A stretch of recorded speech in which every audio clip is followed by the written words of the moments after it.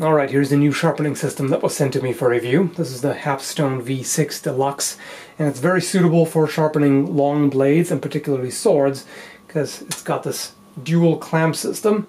And you can see right here, this is as far apart as the two clamps go, so that's of course quite a bit more stability. I still had to improvise a little bit because this is a lot of mass hanging off of one end, so if this is unsupported then the entire thing just tips over, and even if it didn't, the blade would sag quite a bit. So the step ladder here is almost the exact right height. I just had to put this piece of cloth there to compensate for the rest. It's the same concept as the other sharpening system I showed. So you've got the stone holder here.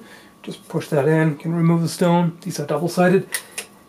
And it's attached to the rod that moves back and forth, but is always at the same angle if you keep it on the blade. And um, what I really appreciate about the deluxe version here is that in order to flip this over to work the other side, I don't even have to remove this from the clamps. All I need to do is just flip it over and there you go. So on the other side I've got a tripod setup so it rests on there. So now I can quickly and easily just switch between the two sides so that helps a lot. What's also nice is that it's got this metal platform here. So if you've got an angle cube, you can put it on there and measure the angle precisely. So you would you know, zero it first on the blade. Now, you can also put it on the clamps, but the clamps are not at the exact same angle that the blade is. So you put that on, then you zero it. There it is. And then I put it on here it'll show me what angle we're at. So this is 23.7 and uh, yeah, so I generally like to be you know, for tatami cutting around you know, 22 and a half or around there, you know, it doesn't have to be 100% exact.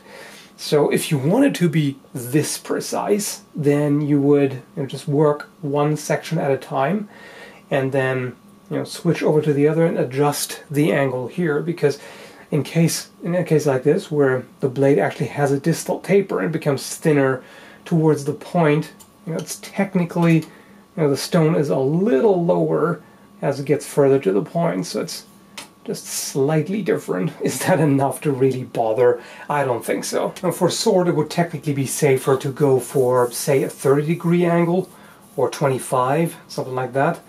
So this is, um, the more acute the angle, the higher the risk of edge damage. But uh, in this case, yeah, this is going to be mainly a tatami cutter, so I'm not worried about it. So as I said, same principle as the other one. You set the angle and then you just have at it. So this one here also has the stops. So these are there to make sure that you don't slide off with the stone. The way I've got it set up here right now so if I'm all the way over here, that's where the stop is. So essentially I'm not really using the stops because here it doesn't do that. The, the reason why I'm not using them is because I like to be able to use the entire length of the stone. And if I set it so that, you know, it, it prevents it from going off the edge here, then over there it's going to be quite a bit further up so it doesn't use the entire length. Now, I would recommend, especially if you're just getting used to it, definitely use the stops because they are a safety feature. If you, especially uh, this one right here, because you don't want to jam your fingers against the edge. You can cut yourself pretty bad. So it's good to use them, but personally I just pay more attention to what I'm doing and uh, then I'm getting a little more life out of the stone. But I said, I would recommend, especially in the beginning, to use them. So because I've already demonstrated the other one, I'm not going to show you too much of this. It's, again, the same kind of idea. Uh, one thing to point out is that the system is very stable. For one, there is a good amount of weight, and also it's got these rubber feet here that have good traction on most surfaces. So uh, I can drag it around like this, but even if I use the stone freehand, it doesn't go anywhere. Now if I apply equal pressure on this stroke here, of course it'll lift it up. But uh, you know, in that case you can either push it down and do it like this, or you can just apply pressure on the inward stroke only. So either way, you figure out your preferences.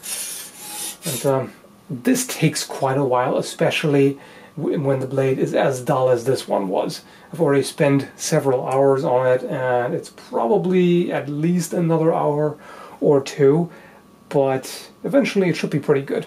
The edge that I've got further down here is nice and sharp already, so I'm just working on this section now. And the tape here prevents the blade from getting scratched up. I found that electrical tape works really nicely because you know, it's a little stretchy and you can actually align it, curve it and make it follow the edge in case of a curved blade like this. As I said, there's not too much of a point in showing you the entire process of sharpening because I've already done it. If you haven't seen that video, the link will be down below. And uh, the other thing I wanted to point out about this system here that I like is that there's two attachment points for the rod here. So for knives you can put it in the rear position here, but for thicker blades it needs to come further up here because you know, the essentially the rod is already lifted higher than it would usually be. So if it's all, all the way over there, then you get a shallower angle. Whereas up here, you can go pretty high and you can get like a 30 degree angle or even higher than 30 if you want on thicker blades. So that's a very smart design. Overall, it is a very intelligent design. I quite like the feature is It makes this a lot easier you know, if you, you're dealing with the, the simpler version, Hapstone also has a cheaper version of this sharpening system here without the clamp, where you just rest it on there. It's, it's like the, the other system that I showed. So that works perfectly well for knives in particular. But if you have larger blades, machetes, swords, and things of that nature, then this is really, really helpful.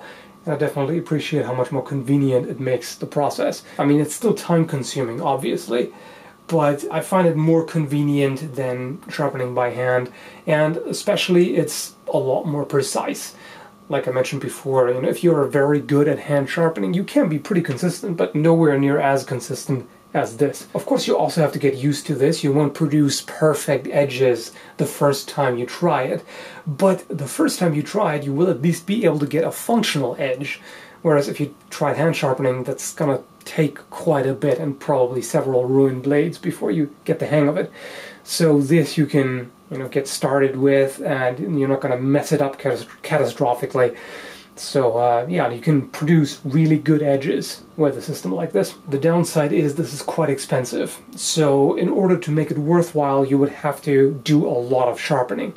If you do, if you've got plenty of blades to, to sharpen and you know, improve and maintain, then this is great. If not, and particularly also if you mainly sharpen shorter blades, then the standard version is just fine. Either way, all I can say is that I'm very satisfied with this sharpener. I'm happy that they sent it to me. It's a practical design, it's effective, it makes it simple, and you really can't beat the precision for a device that's easy to use at home. If I run into any issues at some point, I'll update you on this, but uh, so far it's been working flawlessly. Anyway, I hope you found the review helpful, and thanks for watching.